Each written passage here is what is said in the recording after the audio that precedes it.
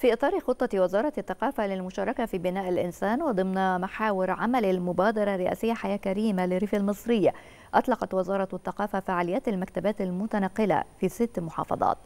المزيد مع باسم أبو العنين مراسل التلفزيون المصري. هنا من حاضرة مصر حاضرة الجمهورية الجديدة من العاصمة الإدارية وتحديدا من أمام وزارة الثقافة. ندشن اليوم مشروع ست مكتبات متنقلة ضمن المبادرة الرئاسية حياة كريمة.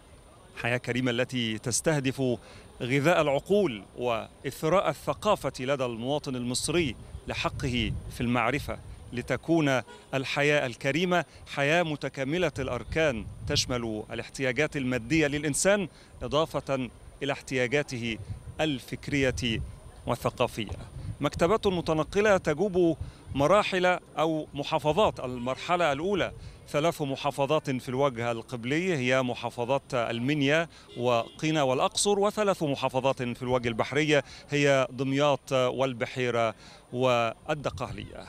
مشروع حياة كريمة ينطلق في محور جديد من محاوره محور الثقافة من خلال مشروع هذه المكتبات المتنقلة. اليوم ست محافظات وست مكتبات وغدا يكون أو تكون الثقافة والمكتبات شاملة لكل ربوع مصر.